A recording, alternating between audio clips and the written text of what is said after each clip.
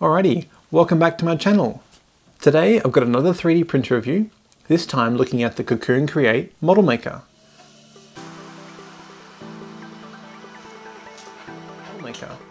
This is a fairly unique printer in that it's only being sold by Aldi stores in Australia. It's on sale again this, this Wednesday, so if you're interested, jump over to the store then. Hopefully this review will help some of you decide if you're sitting on the fence or not, whether this could be a good first printer for you or not. The most attractive thing that most people will be interested in is that the price is $300 Australian. That gets you a fully assembled, tested 3D printer from Aldi with their magnificent 60 day return policy. So it's about as safe a gamble as you can make. Um, the only thing you need to do when you get it, unbox it, you need to just screw in the um, filament holder and then, then you're ready to go. So let's get into it. In the box, you get a range of different filaments. Um, just some short lengths and a range of different uh, colors. It's, it's enough to get started with, but you're gonna have to buy some more full spools, but at least it gets you started. They include a few hex keys and miscellaneous hardware, nothing significant, but they do include some spare um, bed sheets, which are consumables. So that's really nice to have those. They actually give you a really nice, fairly comprehensive um, printed instruction manual, which is rare to say the least in most things these days, which is really nice.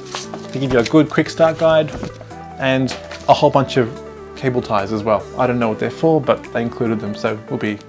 They also include a micro SD card, and the micro SD card has some sample prints, as well as having all the software you need to run and install on your computer to get started. Um, that's Cura for those of you who are familiar with 3D printer software. And they actually include a profile for this printer on the um, micro SD card too. That's a nice bonus too. Aldi is also selling filament as well, the filament they sell is about 35 Australian dollars. You can buy other filament elsewhere, so don't feel you have to buy their stuff. I recommend uh, Torwell Australia. Their filament has been really good. I've had no problems with it. Had good consistent quality.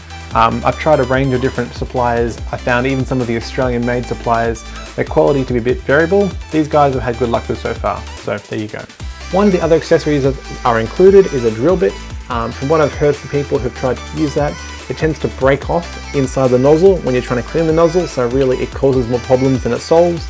Um, something I recommend is just go visit your local um, acupuncture center and ask them for some of their acupuncture needles. Um, those needles are very flexible, they're the right size for these nozzles. You can also buy um, acupuncture needles in small quantities uh, from other suppliers as well. I'll, I'll, put a link through to where I got these ones um, in the description below. If we go around the printer, at the front you have a rotary dial which clicks in as a button. You've got a uh, small but clear backlit LCD display. On the right side you've got your spool and your spool holder. On the back you've got a power switch and a power input. On the top you've got your extruder um, with a gear.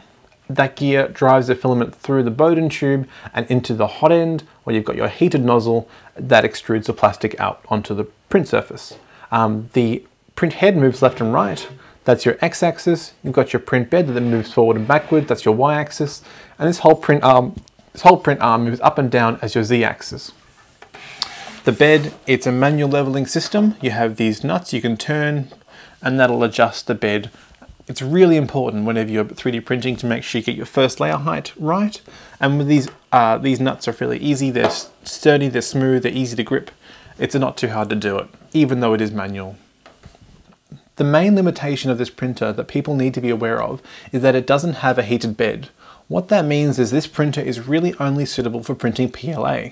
Um, PLA is a good material, it's easy to print with, things come out reasonably cleanly, um, it doesn't warp very much at all, and the prints are reasonably strong. However, PLA is a fairly brittle material, so if you're looking for something that's going to be experiencing high loads, you may find that you'd like to print in say PETG, ABS, or a range of other materials and because this printer doesn't have a heated bed, it makes it very hard to get those materials to stay stuck to the bed. Often if you try to print a different material, the print will start, but then the print will come off and detach halfway through, ruining your print. So really, unless you're happy to buy, happy to use just PLA, don't get this printer. That being said, you can do a lot of good stuff with PLA, and it's probably the material that I've used the most over the last couple of years. The printer being released at Aldi this Wednesday has one major difference to this printer. They're replacing the bed material with a magnetic bed system. What that means is, rather than peeling your print off the bed directly, first of all, you can peel off the top magnetic sheet and then peel the print off from that sheet. Um, I recently did another review on this magnetic bed system. Um, my last video I did, actually I really like it. I think it's a really good solution. And I think it's really good especially if you have kids and you want to use this printer with them. Um, one of the biggest dangers, um, biggest hazards of 3D printers is actually the tools.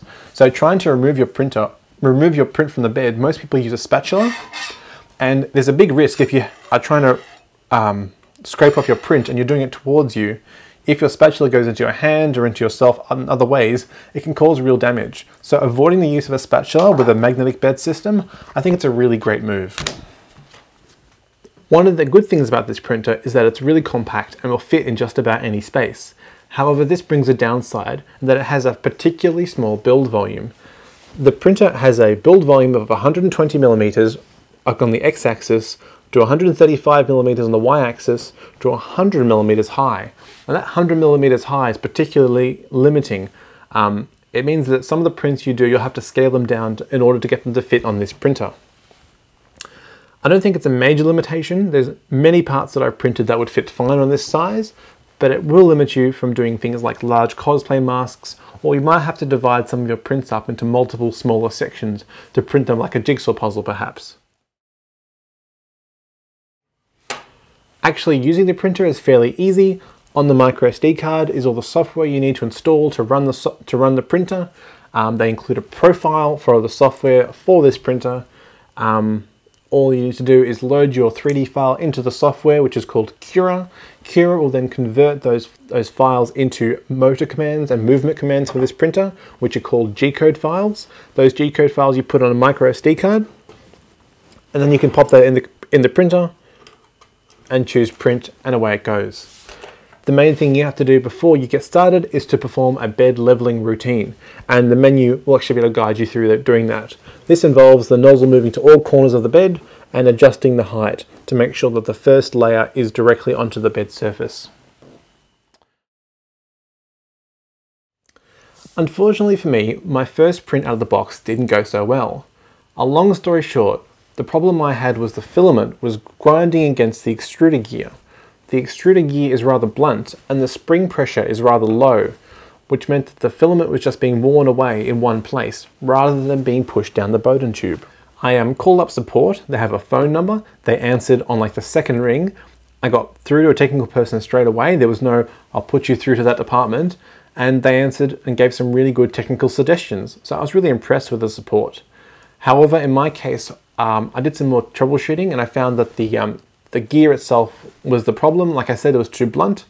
I replaced this gear with a new one that's much sharper and I've had much, much better results since then. I've had no more grinding, no more filament slipping, and my prints have been coming out beautifully. Um, that replacement gear cost $1 from China delivered. So it's not a massive expense. It's still annoying that a brand new printer out of the box has this flaw. Um, I did a poll on the Model Maker Facebook group, and about half the people said that they had had some problems with grinding a filament. Maybe mine was an unlucky duckling, but even so, it shouldn't happen to any of them out of the box. If it does happen, this is how you can fix it, by replacing that extruder gear. For $1, I'll give them a pass on that. It's a cheap, easy replacement. The print quality itself is really, really good, really excellent. I'll do some close-ups, um, but the print quality, all the layers are really consistently laid down. The detail on some of the prints is really, really good. Um, the only thing that lets them down is what's known as salmon skinning. This is an artifact of the motor stepper drivers in the printer that don't have a particularly perfect waveform. And this causes patterns on the print surface, um, regular patterns that you can see in this print as um, these diagonal lines. Um, that's the only downside I can see to that, to this, um, to the print quality on this printer. Um, the print profile they supply is really good. I'm actually trying to do my best to get a print profile for this printer built into the next generation of Cura, version 3.6, hopefully coming out soon. So fingers crossed you could just plug this into a new version of Cura and have it work out of the box as well. In terms of alternative options, if you're just starting out, you're probably looking for an, a low budget printer. Most people start out in this price range too. Um, however, there's a lot of really bad stuff out there. The ANET A8 is probably one of the most popular printers because of its low price, but the acrylic frame is very fragile, flimsy, and prone to being brutal and breaking. The software and the firmware lacks really important safety features and has burnt several people's houses down. Um, and the flaws and the problems you run into will turn your hair grey. I think it's worth spending some more money to get a better quality printer overall. This printer is a good starter printer, I think. Um, it has some limitations, but it doesn't compromise on quality where it counts. There are some other options out there, and I'd suggest some. One would be the Creality uh, Ender 3. It's a very popular printer. There's a good support community out there. Um, however, in my opinion, they cut a few too many few too many corners for me to say it's a high quality printer. I'd say the print results are not as good as the print results you get out of the model maker itself. Another printer is the Alfawise U20. I'm going to do a review on that one soon, so that'll be coming out shortly. And that's a really good all-rounder for a little bit more money again, but I think it's worth the added investment to get a heated bed, a bigger print volume, and a more flexible printer overall. Um, the print quality is almost as good as, as the model maker, not quite as good, um, but overall I think that it might be a better value option. If you don't want to spend some time troubleshooting and you just want something to work out of the box, the model maker is probably a great buy. It's hard to find a lot of printers that don't have problems out of the box, even though the model maker did have its own problems. Um, but I think that the model maker and the really good support you can get from Aldi, you can just take it back and get another one the same day you're up and running again. It's a, it's a really good system they have there. In short, I like the model maker a lot. I'm disappointed that I had a problem with the extruder gear, but it's an easy fix. Um, for me, I think I wouldn't buy this printer because I like printing with PETG. It's a nice material, it has many benefits. But if I was just getting started again, or if I wanted to give this as a gift to somebody for Christmas, or if I just wanted to um, see if I enjoyed 3D printing, this could be a really good option. It's low cost, it's reliable. Um, I think you can't go too wrong, honestly. Um, there's a group on Facebook you can join if you're interested in talking to others about this printer. Um, I'll link some more useful links in the description below, all the products I mentioned. Um, if you have one of the older Cocoon Create model makers, you can actually buy you can actually buy this um, magnetic uh, bed system and you can apply it to your printer. So you don't actually have to miss out on anything at all. That's all I have for today. If you have any feedback, comments or suggestions, please feel free to leave them in the, in the comments below. Otherwise, thank you for watching and supporting my channel. Have a great day.